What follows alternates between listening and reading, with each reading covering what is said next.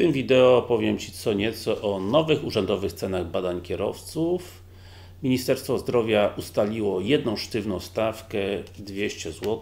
Jeżeli nie wiesz ile to jest 200 zł, to jest właśnie tyle. Jest to stawka na wszystkie kategorie i teoretycznie nie ma tutaj pola do żadnych negocjacji. No pokazuję Ci jeszcze starą dwusetkę, nowej jeszcze nie dostałem. Cześć, nazywam się Darek Kraśnicki, jestem lekarzem medycyny transportu z Wrocławia i zacznę od przypomnienia starych cen z zastrzeżeniem, że były to tak zwane ceny maksymalne. Czyli jaki z tego wniosek? Że z reguły było taniej, a nawet sporo taniej. Czyli kategoria AB było to maksymalnie 200 zł, kategoria CD maksymalnie 250 no, y, inną grupę stanowiły badania w WOMP-ach, czy w Instytutach Medycyny Pracy. Przyczyny były różne, ale najczęściej trafiałeś tam za alkohol, za wypadek i było to maksymalnie 300 zł, 300 zł netto. A WOMP z reguły sobie doliczał jeszcze 23% VAT-u. I uczciwie trzeba przyznać, że właśnie jedynymi instytucjami, które tak bez litości brały tą stawkę maksymalną, to były WOMP-y, ponieważ po prostu nie miały konkurencji, a jak złapano Cię za jazdę po alkoholu, to grzecznie wyskakiwałeś z dwóch takich pieniążków, czyli z 366 zł, bo jak wspomniałem wcześniej, ceny z, rozpo z rozporządzenia Ministra Zdrowia były netto. Takie realne ceny wolnorynkowe były gdzieś w połowie tych maksymalnych, czyli powiedzmy za kategorię B raczej nie przekraczały 100 zł, no, po szkółkach jazdy lekarz hurtowo na pewno brał taniej, powiedzmy coś koło 50, podobno w Warszawie 80. Natomiast kategorie wyższe było to około 150 zł. I uczciwie muszę przyznać, że zdawało mi się brać tą stawkę maksymalną, ale były to z reguły jakieś przypadki trudniejsze, wymagające kilku konsultacji.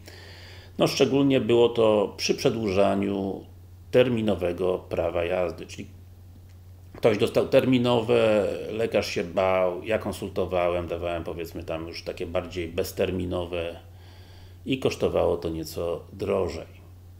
Natomiast ku zaskoczeniu większości kandydatów na prawko i, i, też kierowców zawodowych, Ministerstwo wprowadziło jedną urzędową cenę, czyli te 200 zł na wszystkie kategorie, czyli taka typowa urawniłowka po najmniejszej linii oporu, czyli kierowca e, kategorii AM mający tam lat chyba 13 na jakieś pierdzi kółko płaci tyle samo, co kierowca 40-tonowego tira, kierowca, który będzie jeździł 40-tonowym tirem.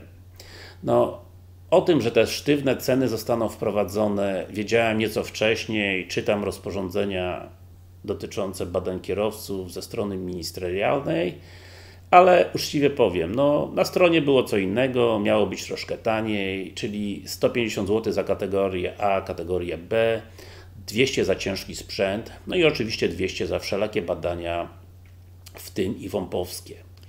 I powiem szczerze, że na dzień kręcenia tego wideo powstała taka ciekawa sytuacja. No, intencją ustawodawcy była wyższa cena, ale za nieco solidniejsze badanie.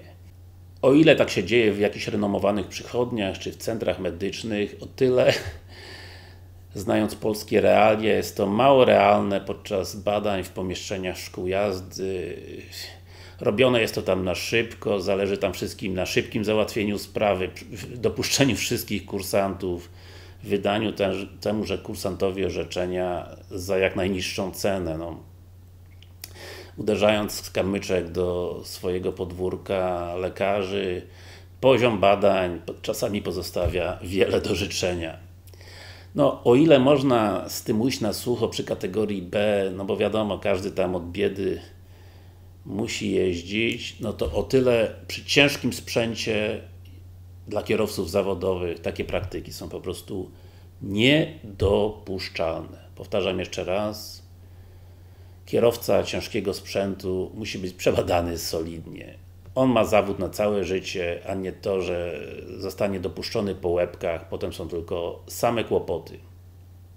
Prywatnie uważam, że te dwie stówki jest to cena zaporowa dla kursantów nauki jazdy na kategorię B, na kategorię A. No z reguły uczniów, ludzi młodych, takich być może jak Ty, liczących się z każdym groszem. No, często finansują to rodzice, którym też się za bardzo nie przelewa. Za kategorię C, za kategorię D, czyli ciężarówki, autobusy, uważam, że jest to cena tam no, w miarę uzasadniona.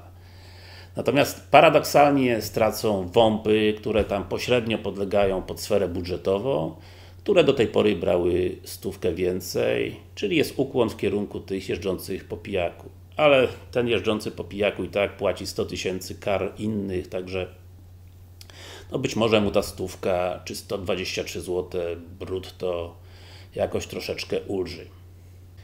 Jakie są perspektywy tej urzędowej, dość wysokiej ceny? Znając życie, to nawet ewidentne błędy w aktach prawnych ciągną się latami, nikt z tworzących prawo nie kwapi się do ich poprawy, no, chciałoby się powiedzieć, ryba psuje się od głowy, czyli cena, te dwie stówki raczej się ostanie i to ostanie się na długo. Natomiast w praktyce będzie ona przestrzegana jedynie w wiodących przychodniach oraz takich instytucjach budżetowych jak WOMP. No, są one na świeczniku, nie za bardzo mogą sobie pozwolić na jakieś szachrajki, czy nawet na obchodzenie złego prawa, prawda? No, ci wiodący, ci referencyjni nie mają wyjścia. Natomiast y, część klienteli przejdzie, że tak powiem, do tych gorszych gabinetów. No, o badaniach w szkołach jazdy nie wspomnę, gdzie powstanie tam prawdopodobnie jakaś szara strefa, ale badająca bardziej po cenach rynkowych. No, trudno też nie przyznać logiki temu postępowaniu. No, ciężko sobie wyobrazić dwie stówy za lekarza przy ośmiu stówkach za kurs u jakiegoś ucznia gimnazjalnego idącego na prawo jazdy, AM, prawda, czyli na jakiś tam motorek. Także na tym kończę. Jeżeli to wideo Ci się spodobało, daj lajka, daj kciuka. Jak masz swoje jakieś osobiste doświadczenia z kosztem, z ceną badań lekarskich, koniecznie napisz tutaj w komentarzach do tego wideo. Każdy Twój oddźwięk w tym kontrowersyjnym temacie naprawdę jest mile widziany. Wiadomo, gdzie nie wiadomo o co chodzi, to chodzi o, o to, o co chodzi, prawda? Także mówił Darek Kraśnicki z Wrocławia, lekarz specjalista medycyny transportu i do zobaczenia w moim kolejnym wideo. Także koniecznie skomentuj ten temat.